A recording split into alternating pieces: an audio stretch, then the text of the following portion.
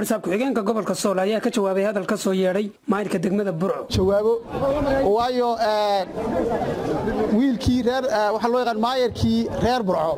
Kelmaduu yidhi oo saxaafadda wareegaysay oo ay ahayd inaan maayarka u daayo laakiinse hadal hilmaan kuma jire u ilaaway waxa weeye maayar waxaan ku leenahay abti. Anu dee ma arag waa baadh weeye qof abtigii u jawaabaya laakiinse abti waxaan ku leenahay.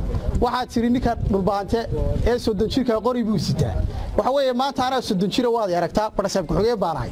Gobolka sool boos mur labaad baanahay. Maayarka degmada laascaanoodda waad arkaysa. Xildhibaanada golaha deegaanka degmada laascaanoodta la leegaya waad aragtaa. Waxa weeye waad hurudaaye. Hurdada ka kaco wax arag dhinaca kale waxaa isna raaligelin ka bixiyey wasiirka arrimaha gudaha soomaaliya maxamed kaahin axmed. Hadal ka soo yeedhay maalinimadii shalay maayirka degmada burco. Waan ka xumahay hadalkii meeyarkii magaalada burco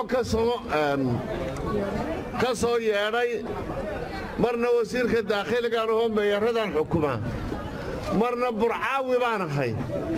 Xaal baan ka siinayaa reer sool kelmaddan meeyarkana waxaan ku amrayaa inuu xaal ka bixiyo. Barkhad maxamed barkhad nuuriye telefishka caalamiga c b a laascanood